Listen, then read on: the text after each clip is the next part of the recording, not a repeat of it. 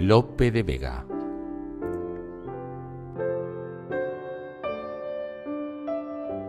Al nacimiento de Cristo.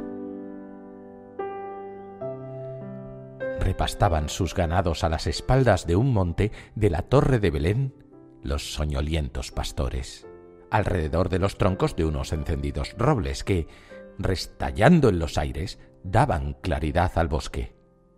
En los nudosos rediles las ovejuelas se encogen, la escarcha en la hierba helada beben, pensando que comen. No lejos, los lobos fieros con los aullidos feroces desafían los mastines, que a donde suenan responden. Cuando las oscuras nubes de sol coronado rompe un capitán celestial de sus ejércitos nobles, atónitos se derriban de sí mismo los pastores, y por la lumbre las manos sobre los ojos se ponen.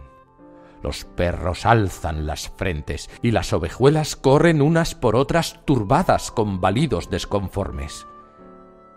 Cuando el nuncio soberano las plumas de oro descoge y enamorando los aires, les dice tales razones. Gloria a Dios en las alturas, paz en la tierra a los hombres. Dios ha nacido en Belén en esta dichosa noche.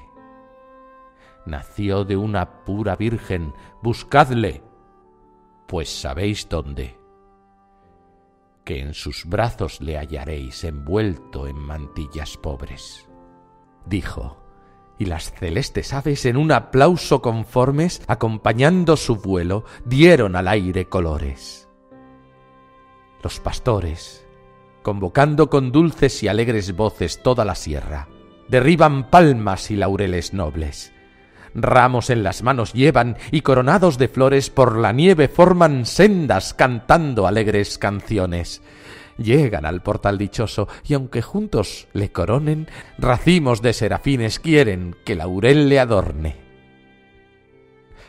La pura y hermosa Virgen hallan diciéndole amores al niño recién nacido, que hombre y Dios tiene por nombre.